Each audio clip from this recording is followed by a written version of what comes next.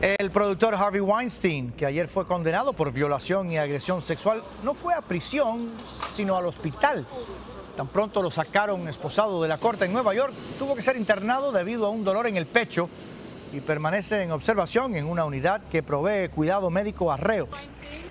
Weinstein fue hallado culpable de violar a una actriz y practicarle sexo oral forzado a un asistente de producción.